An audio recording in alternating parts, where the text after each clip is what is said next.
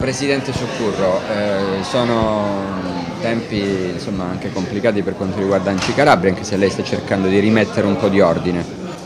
Beh, intanto certo riorganizzare ed essere anche interlocutori eh, positivi e propositivi eh, dei nostri sindaci, sindaci che sono ecco, veramente in prima linea in quelle che sono le problematiche eh, di, una, di, una, regione direi meravigliosa ma che naturalmente ha anche la sua bella da fare. Eh, stiamo lavorando eh, continuamente senza fermarci, ci stiamo ecco, come dicevo anche riorganizzando, ripartiranno le commissioni. Eh, proprio proprio per essere pronti a dare delle risposte ai sindaci ma soprattutto ai territori eh, a 360 gradi. Negli anni ci si è resi conto come le province fossero indispensabili per dare delle risposte ai territori, ma le province eh, piene di deleghe, di funzioni e quindi anche di risorse, quindi stiamo lavorando anche lì eh, su più livelli, interloquendo anche con il governo eh, nazionale affinché avvenga la riforma che possa far ritornare con le province province nella loro centralità di un tempo, quindi con eh, le deleghe, con le risorse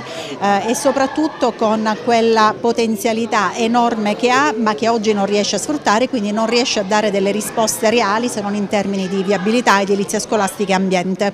Un risveglio del turismo invernale in Sila e anche a San Giovanni Fiore, ne vogliamo parlare? Beh, eh, con l'arrivo dei primi fiocchi di neve eh, parte quella che è la stagione invernale, una stagione legata eh, non solo al mondo sciistico ma a tutto ciò che attorno si crea. Eh, parliamo della, della, Sila, parliamo di Lorica, parliamo di Camigliatello, ma parliamo ecco, di un indotto fondamentale che ehm, a parte con gli appassionati e gli sportivi può in qualche modo interessare eh, tutte le famiglie, giovani ragazzi. Un turismo che è quello montano che vorremmo funzionasse tutti i giorni dell'anno ed è per questo che stiamo lavorando anche come provincia insieme ai comuni, insieme alle associazioni, ad Arsa che a Ferrovie affinché possa essere una leva economica fondamentale per la nostra economia e quindi il turismo.